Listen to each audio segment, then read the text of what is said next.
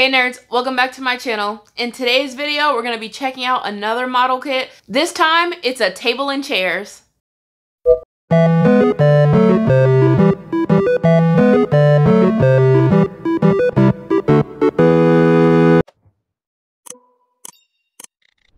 So today we have two model kits. Um, this is what it looks like. It's a meeting room desk and chair, kind of like, you know, the fold out table and chairs. Unfortunately, they are not collapsible once you're like using them and stuff, but it's okay. They'll look really great in some toy photos. So like usual, they are 1 12th scale. Um, and then it tells you on the front that it's a snap kit and um, it's an accessory for 1 12 scale figures, like movable figures. And then in each pack, it comes with two desks and two chairs. So because we have two packages, we have four desks and four chairs. So, no. Each pack comes with two desks and four chairs. So we have four desks and eight chairs. So let's go ahead and jump over uh, and see what it looks like all put together so I can start using them in some toy photos. I am so excited to get the chance to finally use these. I've had them for like a month now and haven't been able to record a video so I haven't been able to take any toy photos with them. So let's go ahead and get to building.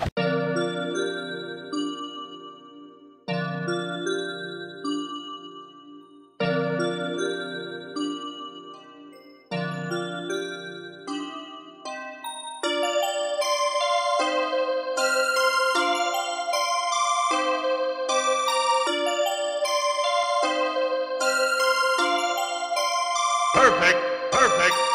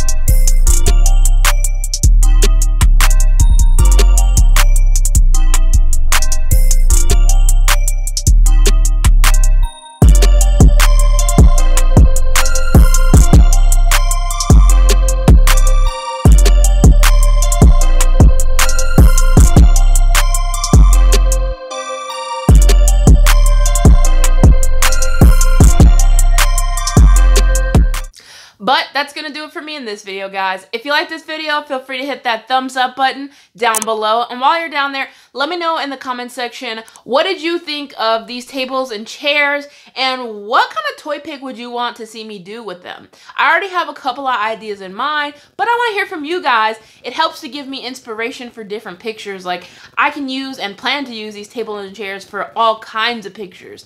Um, if not, then I wasted a bunch of money. So let me know what photo or scene you guys think I should make or recreate using these tables and chairs. It could be something that already exists and I use my toys to take the picture, or you can just come up with your own idea. So bring it on. Let me know in the comment section. If you're new to my channel, make sure you hit that subscribe button so you can stay in the know of all the nerdy and hit that bell notification. And be sure to share this video and my channel with anybody that you think may enjoy. But as always, guys, remember, keep it nerdy.